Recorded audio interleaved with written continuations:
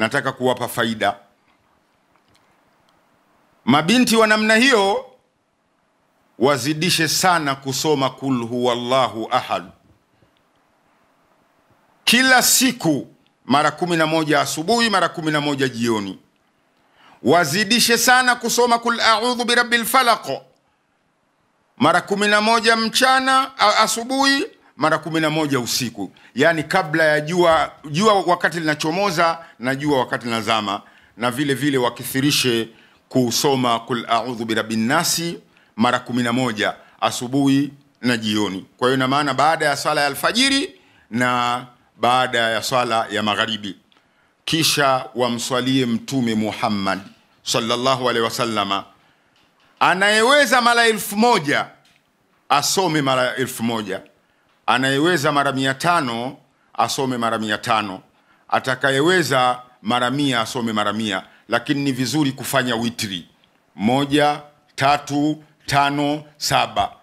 Kisha baada ya hiyo swala ya magharibi aswali rakaateini rakaa mbili za kumwomba mwenyezi mungu. Ikiwa ni mwanaume anataka kuoa baada ya kuyatekeleza hayo basi afanye hivyo na akiwa ni mwanamke anataka kuolewa afanye hivyo. Lakini ziada ni lazima utuone mashehe, utuone walimu. Kwa sababu haya mambo ni ya kiilmu. Na ilmu huwa haipatikani hivi kwa ujanja ujanja tu. Umeangalia mara moja basi we umekuwa na nini? Na mtu yoyote asiyekuwa na shekhe basi shekhe wake ni shaitani.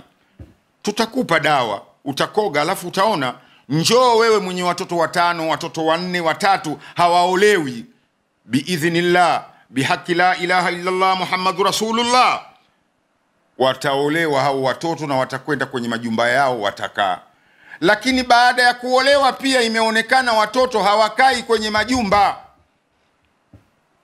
Pia hilo tutalifahamisha na ziko dua zake hatuwezi kuwapeni zote. Ziko dua maalum mwanamke akiingia katika nyumba aliyoolewa siku ya kwanza asome nini afanye nini basi atakuwa chini ya ulinzi wa mwenyezi mungu subhanahu wa taala. Hawezi kudhuriwa na chochote. Na katika hayo ni hizo sura ambazo nimezieleza hapo. Tunagawa hizi ilmu kwa sababu tutakwenda ulizwa na mwenyezi mungu siku ya Kiyama, nilikupeni kwa nini hamkutoa? Tusije tukaangamia kama wale matajiri walioangamia wakati wa nyuma kabisa. Mwenyezi mungu alitoa amri.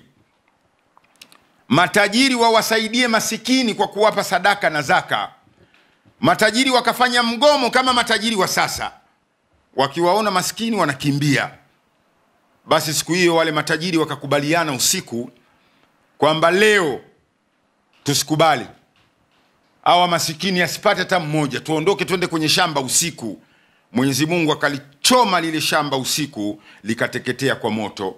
Na mlikuwa mna ndizi mna zabibu mna nini. Mpaka wakalipotea shamba lao kwa sababu gani? Kwa sababu ya kuacha kutoa sadaka. Na leo matajiri wengi tulionao hawataki kutoa zaka hawataki kutoa sadaka.